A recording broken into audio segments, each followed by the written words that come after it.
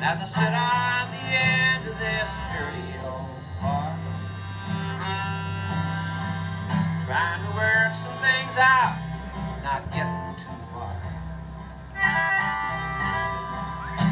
As I drown out the voices that are keeping me down,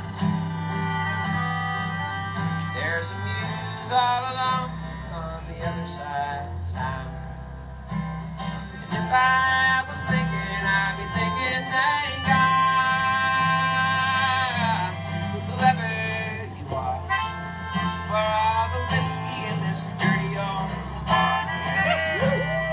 Times like these, so sad but so true.